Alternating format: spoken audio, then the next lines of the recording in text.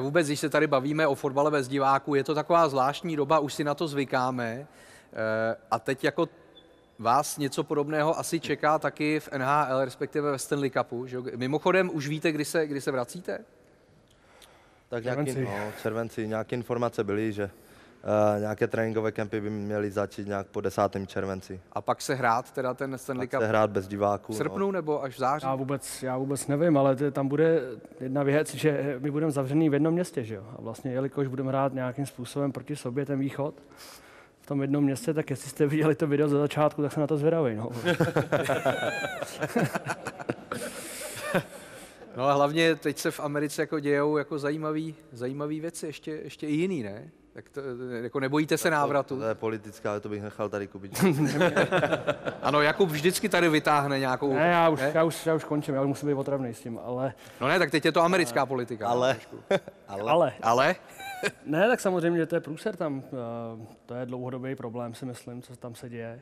A, a vždycky mně přijde jednou za čas, že prostě eh, je škoda, že nejhorší, že oni se bijou do prsou, jak je nejlepší a jak je nejlepší země na světě. Jako samozřejmě je to jedna z těch top zemí, zemí teda, ale ta nezávislost a ta demokracie a pak, pak řeší rasismus a řeší, a řeší tohleto a je rok 2020. Prostě, že ty lidi nějakým způsobem nenajdou společnou řeč na to, aby ten život mohli mít spokojenější, že, že, jestli, že proč řeší někdo, jestli je bílej nebo černý. Hmm. To má být úplně jedno, hlavně jestli jsi normální člověk, tak to má být jako priorita číslo jedna, a ne jestli jsem černý nebo bílej. To je prostě to je, to je věc, která už tam je po staletí a, a škoda, že ještě v roce 2020, že to nemají jako nějakým způsobem nastavený tak, aby, aby tohle to nemuseli řešit.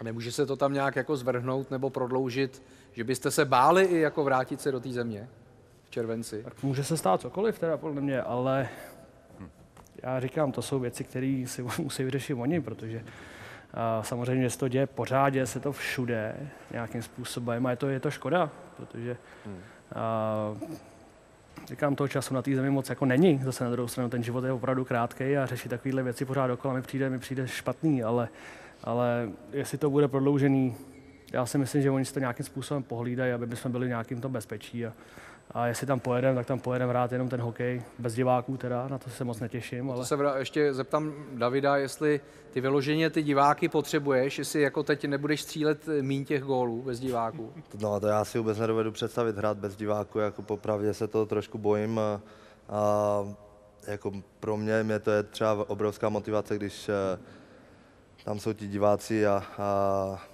jsem pod takovým dohledem a vždycky, vždycky se mi, ať je to ať je to cokoliv, že jo, i v posilovně, když přijde na nějaké natáčení, tak se hned lépe posiluje, nebo hokej se hraje líp, fotbal se hraje líp. Pozor, takže ty máš diváky i v posilovně, jo? Prostě, samozřejmě tak jako jsme v nějakém období, kdy eh, prostě musíme být eh, vzory těm malým dětem a hokejistům, takže občas eh, se musíme i hecnout v posilovně. No. On si, on, on si platí 10 lidí na večeři, vždycky to mají večeři a oni mu tam fandějí u toho.